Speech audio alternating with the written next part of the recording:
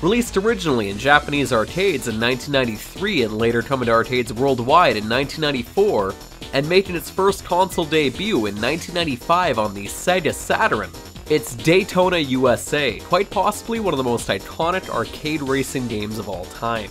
Developed by Sega AM2 and published by Sega, Daytona USA was also later released in Japan that same year for Windows PC, and in 2000 for the Sega Dreamcast in Japan, and mid 2001 for the rest of the world. However, what you're currently seeing on screen now is the PlayStation Network HD remaster of the game released in 2011 for the PlayStation 3. However, it's also available for Xbox Live Arcade for the Xbox 360. It's more or less a remastered version of the Sega Saturn port, with a few additional details such as online multiplayer, but sadly, as of this recording, it's pretty much dead now. So for this review, I'll be focusing purely on the single-player aspects of the game. Daytona USA offers your standard arcade mode, giving you access to three tracks known as Beginner, Advanced, and Expert. Now, despite their names, you can adjust the difficulty and time limit for each track as you wish. The game also features a few extra game modes and features such as challenges, karaoke, time trial, and survival, as well as some new features like online leaderboards and PlayStation Network trophies and Xbox Live achievements. But is all of this any good? Let's find out first in the good. I'd make the argument that 3D arcade racing games up until 1993 never felt or played this damn good, which is probably the best aspect of this game, the racing and the gameplay itself. Now, despite this game being considered pretty bare bones compared to most modern racing games that we see out today, there is still plenty of fun to be found with Daytona. The racing still holds up pretty solid and looks better than ever with the HD treatment. This is definitely a racing game that's very approachable for all skill levels, it gives you plenty of difficulty options to choose from, and for the most part, the controls are simple enough to figure out. However, do keep in mind, that doesn't mean there isn't any mastery to learn behind them as well. Everything from knowing how to properly take corners and drifting will require some practice. The additional modes thrown at you in the extras menu will still throw plenty of learning curves your way, especially in the challenges. The challenge mode offers different challenges from reaching a checkpoint in a certain time span, to easily the most difficult challenges of taking certain corners on the track while maintaining a specific speed. If you slow down too much, you immediately fail. And once you start hitting speeds of over 260 kilometers an hour and have to maintain this while cornering, it becomes almost trial and error. Seriously, I spent more time playing the bloody challenge mode than probably anything else in this game. Some of these challenges sort of reminded me of the license tests in Gran Turismo, but it's still fun nonetheless in a weird, addicting way.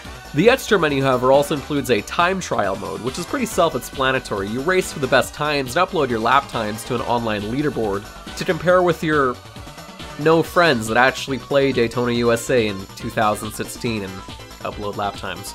But moving along, you've also got a survival mode, which basically to sum up, you race until you run out of time while the game scores you on how far you've traveled. You can regain time by hitting checkpoints, drifting, not hitting vehicles, or passing them altogether. The more damage your vehicle takes, the slower you go. Not to mention your tires will also slowly wear down as well, so if you aim to go for an insanely high score, you need to hit up the pit stops to repair your vehicle every now and then, which thankfully does freeze the timer. And you've also got the karaoke mode, which more or less is just a standard race, but with a karaoke sing-along text down below to sing to yourself.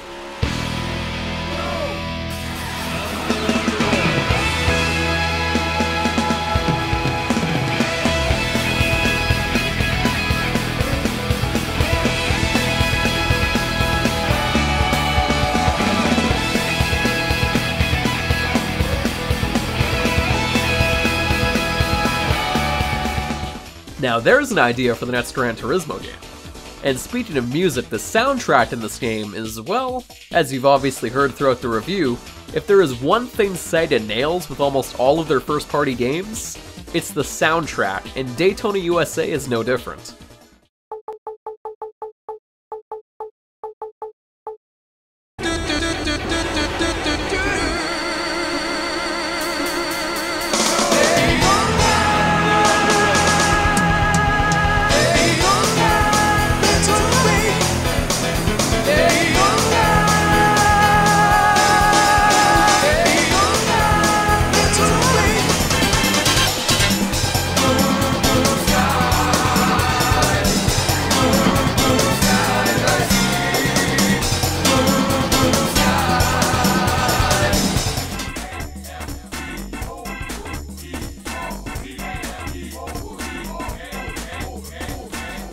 But with all that being said, let's now discuss what this game doesn't quite nail with the bad. Probably the biggest issue I have with Daytona USA, or for this release of the game anyways, is the lack of vehicle variety you can choose from. You're pretty much limited to only using the Hornet, either in automatic with a blue color scheme, or in manual with a yellow color scheme, which is kinda disappointing considering the Dreamcast release of the game offered a few more vehicles for you to choose from and unlock. Hornet, Grasshopper, Falcon.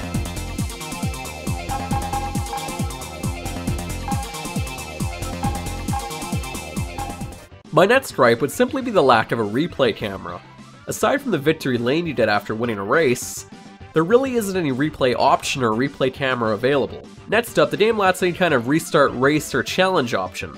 And during my time spent with the challenges, there was the odd time I couldn't simply restart the challenge, even if I already knew I failed. So I'd have to wait for the timer to run out, which kind of became annoying pretty quick.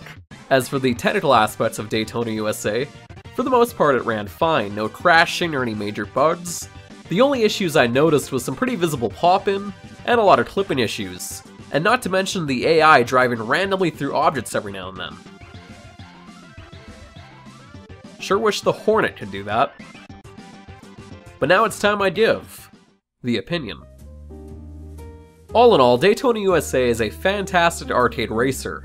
Despite being fairly limited in race options compared to more modern racing games, but from 1993 to 1995, it was considered cutting edge, and probably one of the best 3D racers of its time, and there is still plenty of fun to be had with it today.